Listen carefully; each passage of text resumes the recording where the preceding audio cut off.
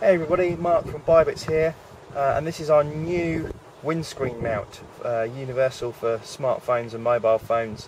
Uh, it's a really sleek, attractive design that will uh, look very nice on your windscreen or on your dashboard.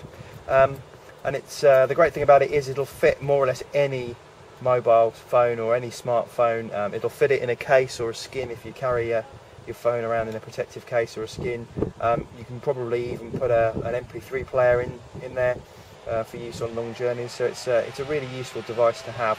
Um, let me show you how it works. Let me show you how to fit it then.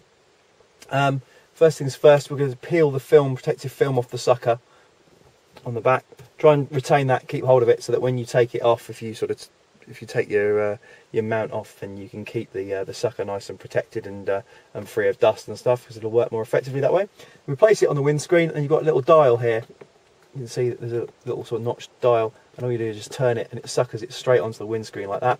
We've got a ball and socket joint up here that you can kind of see and that gives you full manoeuvrability. That clicking sound that you can hear is the uh, the bit on the front, which twizzles kind of this way around, so that you can uh, you can have your phone in portrait or landscape mode if you like. Now on this side, there's a this is this arm here is spring mounted, quite strongly spring mounted.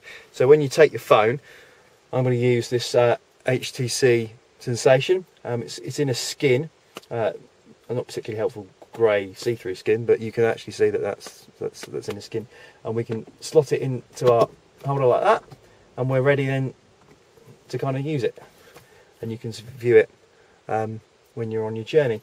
Flick it into horizontal landscape mode, flick it back. Really, really simple, really, really easy, and like I said, it's quite unobtrusive and quite quite nice to look at. It's um, it's quite an attractive uh, attractive mount.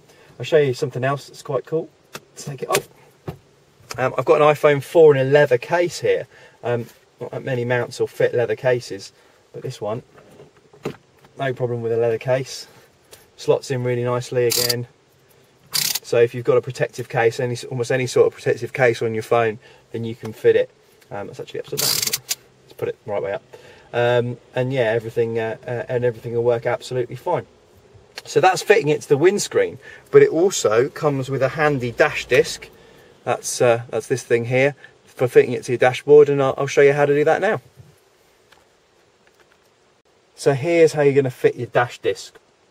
Let's peel off the protective coating from the adhesive. Got like really tacky, sticky coating there and we can just place it nice and firmly on our dashboard and then we've got a sheer surface on the underside that we can stick our mount to. Again, we're going to take off the protective cover. And again we're going to position it dead straight on there. And we're going to twist.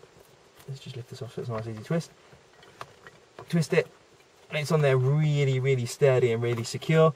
And we've we've got our nice attractive little holder here.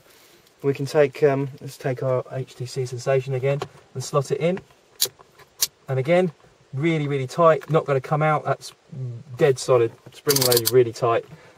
And again, we can put it in any way we like, and it's on our dashboard rather than on our windscreen.